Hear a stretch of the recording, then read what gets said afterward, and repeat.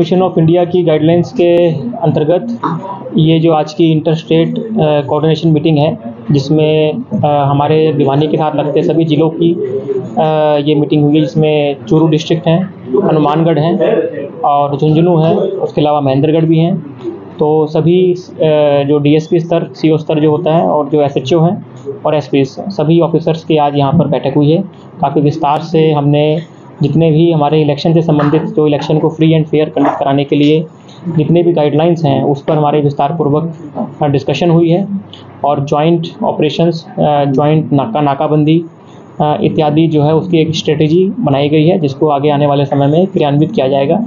हमारा उद्देश्य ये है कि जितने भी स्थायी वारंटी एवं अन्य वांछित अपराधी हैं, जो कि हमारे एरिया में हैं और दूसरे ज़िलों में वांटेड हैं या हमारे एरिया के दूसरे ज़िलों में छुपे हुए हैं। सो उन सभी की धरपकड़ करना, उसके साथ साथ नाकाबंदी को मज़बूत करना, ताकि किसी भी तरह की सप्लाई ऑफ़ चाहे वो शराब हो या कोई नकदी हो या कोई हथियार हो या अन्य कोई एनडीपीएस इत्यादि प्रतिबंधित वस्तुओं की किसी भी तरह की आवाजाही उसको पूरी तरह से रोक लगाना, इस संबंध में हमारी पूरी डिस्कशन हुई है।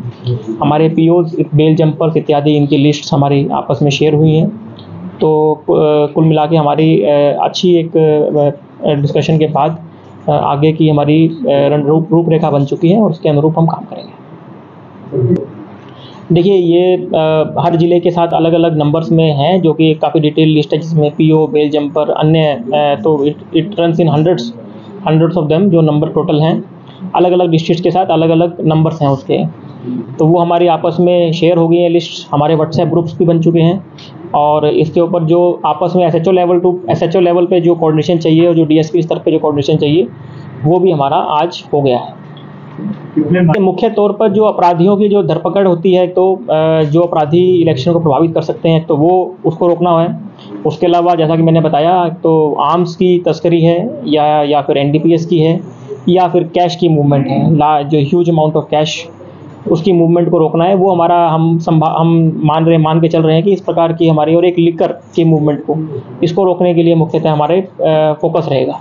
कितने नाके लगाए गए सर? कितनी टीमें देखिए, भिवानी के साथ जो इंटर स्टेट बॉर्डर है, उस पर दस नाके भिवानी लगाए हैं। उसके साथ साथ कॉरस्पॉन्डिंगली डिस्ट्रिक्ट चूरू, झुंझुनू, हनुमानगढ़, इन्होंने अपने अपने नाके लगा रखे हैं। इसके अलावा कुछ कच्चे रास्ते हैं, वो भी हमारे दोनों टीमों के द्वारा आइडेंटिफाई किए गए हैं।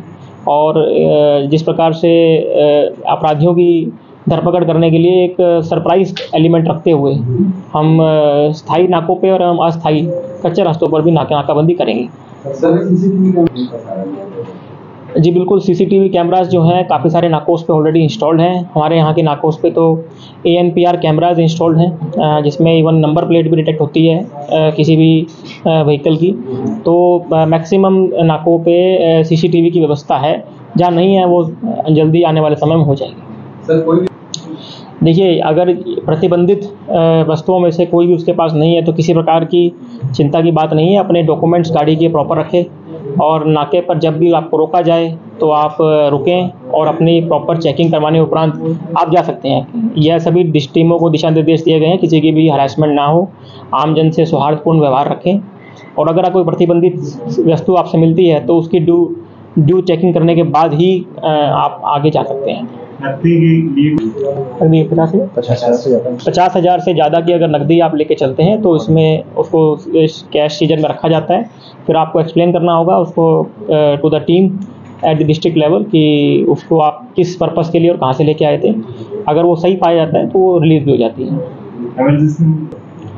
देखिए पचास हज़ार की अगर वो वहीं पर कोई कोई कारण स्पष्ट कर देता है तो उसको वहाँ भी छोड़ छोड़ा जा सकता है। अगर ए, हमारे जो टीम चेकिंग ऑफिसर है उसको इस पर संदेह होता है कि वो सही नहीं है या वेरीफाई नहीं कर पाता है उस कारण को तो उसको सीज किया जाएगा। नेक्स्ट फिर टीम जो डिस्ट्रिक्ट लेवल की टीम है वो उस चेक उसको चेक करेगी। ये इंश्योर किया जाएगा किसी प्रकार की हरासमेंट किसी के ना हो।